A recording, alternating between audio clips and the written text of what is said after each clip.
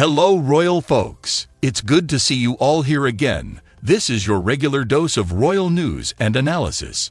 But before we start, please subscribe to my channel and click the bell icon. Thanks. A royal biographer has said the distance between Prince Harry and Meghan Markle seems to get longer and wider amid reports he is staying in two hotels. Angela Levin also questioned why the Duke of Sussex would need to spend time away from the family's enormous home in Montecito. The PS 12 million mansion is known as the Chateau of Riven Rock. Speaking on GB News, Levin said, they have to pay almost £117,000 in the equivalent of council tax from their local area. In it, it tells you what they've got. Library, cinema, gym, spa, pool, tennis court, 7 bedrooms, 16 bathrooms reduced to 13.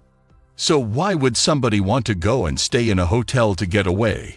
I mean, it's very odd. One of the hotels is permanently booked for him, which sounds to me it's something he can rush to if things are bad. Is she shouting at him? Is he feeling depressed?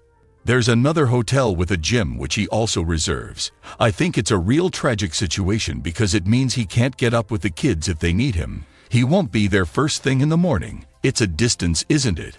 And the distance between them seems to get longer and wider. A spokesman for Harry has said the reports of him staying in hotel rooms, one in Montecito and another at his gym and fitness club in LA, are not true, although the royal rumor mill is working overtime.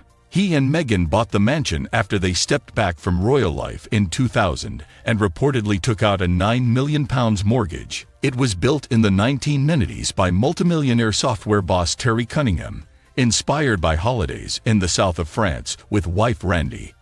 Cunningham told Hello magazine it was a wonderful place to have lots of family around, adding, the kitchen is probably one of the coolest rooms in the house. It opens onto the side patio where the pizza oven and outdoor tables are. Living in Montecito, there's a lot of indoor-outdoor lifestyle, so you easily move from decks to indoors. Archie and Lilibet can also enjoy an adventure playground, a climbing frame, a helter-skelter, and two different climbing walls, said hello. And Metro reported that there is a tea house and a children's cottage as well. So what do you think about this news, guys? Please share your thoughts in the comments and let me know what you think. Until then, thanks for watching. We'll see you again with some more fascinating news about the royal family. Thank you.